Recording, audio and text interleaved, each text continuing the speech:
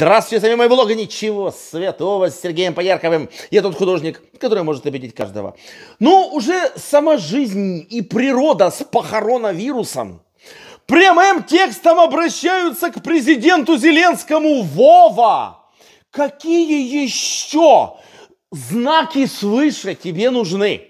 Тебе же прямым текстом два человека пожертвовали карьерой, чтобы показать, какая у тебя есть перспектива и в чем разница. Зеленский, ты можешь уйти гордо, как Вакарчук, или плюхнуться, как туша Сивоха. Выбирай. Люди тебе личным примером показывают, что можно вот так, а можно вот так. И мне кажется, что Вакарчук реально это лучший вариант. Тихо, отойди в сторону и не позорься. Вова Зеленский, карьеру можно закончить, а можно ее похоронить. Очень легко можно из уважаемого комика превратиться в обосранного презика. Потому что не надо себя тешить иллюзиями, что все наладится. Нет. Дальше будет хуже. Количество проблем уже не будет уменьшаться. Оно по любасу будет только возрастать. Уже сегодня все видят, что мы возвращаемся в какие-то, на, на небольшой период времени, в какие-то почти советские времена. Уже садят, ну, фактически хотят там сажать за посты, за пародии, скоро начнут за анекдоты. Это тупая реинкарнация совка долго не продержится. Вова Зеленский, ты не Вацлав Гавел, и ты не э, Махатма Ганди. Вова, тебе знаки свыше даны. Вот была Надя Савченко, ее популярность была выше, чем у тебя дурака. Не только в Украине, во всем мире она была не только местечковым звездулетом, как ты, Зеленский. Она была всемирной звездой с рейтингом в 80% среди наших избирателей. И вот она была звездой, а стала, прости господи, 8 человек за нее проголосовало на выборах. 8 человек проголосовало за дуру, которая начинала с 80%. Вова, тебе вот люди положили карьеры и жизни, чтобы показать, чем это заканчивается. Вова, может быть, ты считаешь, что ты умнее Нади Савченко, что ты умнее Сивоху, но ты точно не умнее Вакарчука. Пожалуйста, возьми пример, свали по-тихому. Друзья мои, у нас в субботу в 11 часов на Михайловской площади э, состоится собрание ветеранов, собрание добровольцев, потому что 14 число это день добровольцев. Э, понятно, что мы заявляем 50 человек, я уже не помню сколько там, ну, в общем, не я этим занимался, но э, я все-таки приглашаю вас прийти, потому что вот этот вот похоронавирус, которым нас пугают, с точки зрения большинства специалистов это просто какая-то глупость, это какой-то просто ну вот политический пердемонокль.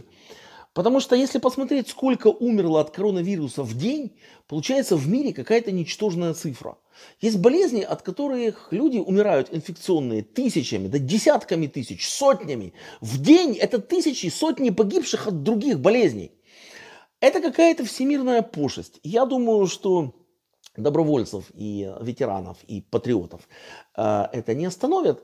И э, давайте мы все э, покажем нашему президенту, что пока мы вежливо и как бы настойчиво просим его поменять вектор своего поведения, так мягко, мягко, мягко скажу, да, без лишнего давления. И мы с вами пройдем от Михайловской площади до Европейской площади, пройдем мимо Кабмина, вручим требования мимо Верховной Рады, зайдем на администрацию президента.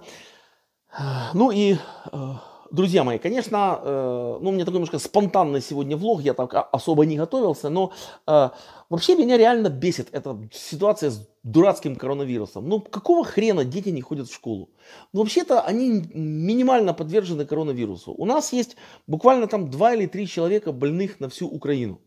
э, прошлый вот этот вот вирус, который был вот этот вот там птичий грипп, всякий там щенячий, свиной, а было жертв, ну, в разы больше. И единственное, что я запомнил с тех времен, вот это вот, вот это вот тамифлю Юлии Владимировны. Вот никогда не знал, что я пожалею за Юлией Владимировной. Тогда говорили, как она поднялась на тамифлю. Да, по-моему, весь мир посмотрел на Юлию Владимировну и сказал, вот это, вот это чувиха реально забодяжила схему. Вот это она молодец. Мы в следующий раз станем на Юлины лыжи и конкретно пройдемся. Все, не надо. Подождите, Юлия Владимировна, возможно, просто пошутила. Вот с вот этим вот своим тамифлю. Я не знал, что Юлия Владимировна заразила всех там от Трампа до Евросоюза вот этим своим, вот этой схемой с Тамифлю. Я, конечно, понимаю, что Юлия Владимировна великая женщина, как говорит Саша Абдулин, но я не знал, что до такой степени. Да, опять-таки к Зеленскому. Э, господин Зеленский, э, вашим именем уже стало понятно, улицу ни одну не назовут. Не назовут город, не назовут теплоход. А, не надо, пожалуйста, вот опускаться до уровня Януковича или остальных тупых диктаторов. Надо иметь мужество, вот просто мужество и честность. Надо не врать самому себе.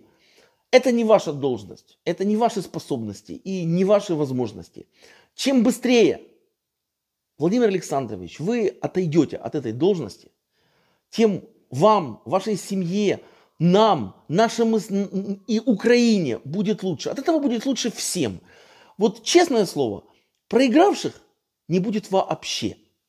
Если вы считаете, что проиграет ваше самолюбие, так я могу сказать, что это минимальная потеря, ну, судя по истории человечества, которая только может быть.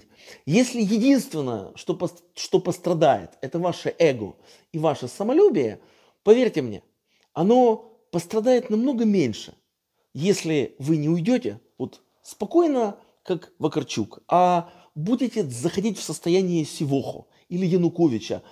Это самая худшая форма ухода.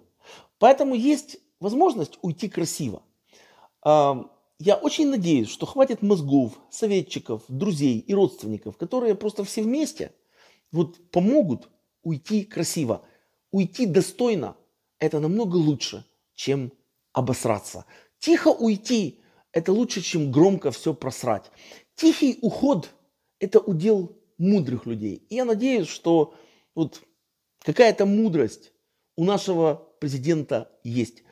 Надо спокойно отойти в сторону и дать людям понять, что вот вы на них не, не, не держите зла, и мы на них не держим зла. У нас есть наша страна, которую нужно спасать. Впереди большие проблемы. Есть экономический кризис, пандемии, экономика. Это все должны разруливать профессионалы. Пусть лучше вот эти вот старые хитрожопые устрицы из всех партий, ругаясь между собой, вот без всякой монобильшести, решают проблемы, которые могут решать взрослые люди. А вот эта вот команда недорослей, вот эта команда недоразумений, которая попала в Верховную Раду, их нельзя допускать к решению вопросов вообще никаких. Подписывайтесь на мой канал, просматривайте подписочки, они иногда падают, и распространяйте. Друзья мои, мы все видимся в субботу в 11 часов на Михайловской площади, потому что за нами не заржавеет.